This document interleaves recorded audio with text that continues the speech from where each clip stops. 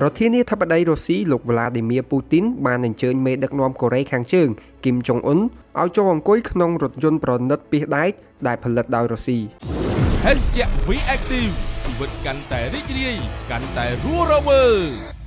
កាលពីថ្ងៃទី13ខែកញ្ញាមេដឹកនាំទាំងពីរបានទៅទស្សនា Vostochny Cosmodrome ដែលជាកន្លែងបាញ់បង្ហោះយានអវកាសទំនើបបំផុតរបស់រុស្ស៊ីនៅភូមិខាងកើតប្រទេស ពេលដើរទៅទីលានធំមេដឹកនាំទាំងពីរបានឈរក្បែរកន្លែងចតរថយន្ត Oros របស់លោកពូទីន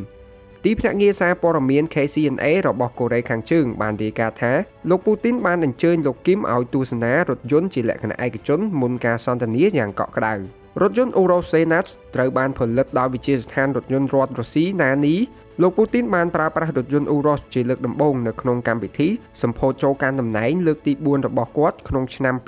2018ដោយឈប់ប្រើរថយន្ត Mercedes S600 Gold Pullman ដើម្បីបង្ហាញពីការស្នេហាជាតិរថយន្ត Uros Senat ត្រូវបានបំពាក់ដោយម៉ាស៊ីន V8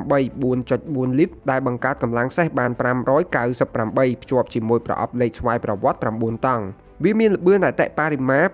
249គីឡូម៉ែត្រក្នុង1ម៉ោងហើយអាចការពារប្រធានាធិបតីបានទោះរថយន្តលិចចូលទឹកក៏ដោយវាក៏មានទ្វារក្រោយដើម្បីចាក់ចេញពេលមានអាសន្នហើយសូម្បីសម្បកកង់ក៏អាចការពារគ្រាប់បានដែរជាទូទៅរថយន្តនេះមានតម្លៃ245,000ដុល្លារអាមេរិកប៉ុន្តែចំពោះការផលិតជាពិសេសសម្រាប់ប្រធានាធិបតីរុស្ស៊ីគេមិនដឹងថាតើវាថ្លៃប៉ុណ្ណានោះទេ